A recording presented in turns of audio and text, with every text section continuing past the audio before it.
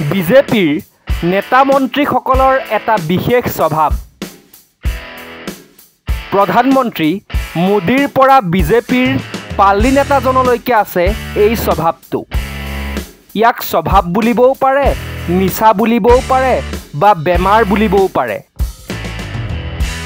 মুঠতে মোদীজীৰ পৰা সকলোৰে গালৈ খুচৰিল এই বেমাৰটো। ভালদৰে কৈছোঁ শুনক।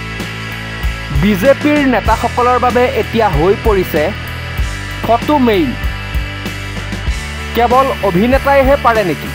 নেতাইও পাৰে। তাৰেই এটা উৎকৃষ্ট নিদৰ্শন আমাৰ প্ৰধানমন্ত্ৰী ডাঙৰীয়া। ফটোশ্বুটত বেছ পাকৈত মোদী। এয়া চাওক উৰাজাহাজৰ ভিতৰতো কাম কৰি গৈছে মোদীয়ে। কাম হওক নহওক ফটো কিন্তু ভাল হ'ব লাগিব। গুৰু যি বাটে বোলে শিষ্যও সেই বাটে।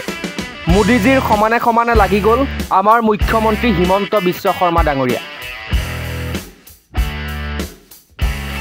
আদাক দেখি উঠিল গা কেতুৰিয়ে বোলে মোকো খা। মোদী হিমন্তক দেখি তত নাইকিয়া হ'ল ৰঞ্জিত দাস আৰু অশোক সিংঘালৰ গাত। এৰা কেইদিনমানৰ পাছত হয়তো ছবি জগতৰ তাৰকা মডেলকো পাছ পেলাব আমাৰ এইসকল নেতাই। যি নহওক কামেৰে নহ'লেও কেমেৰাৰ জৰিয়তে জিলিকি থাকিব এওঁলোক। News desk report time eight.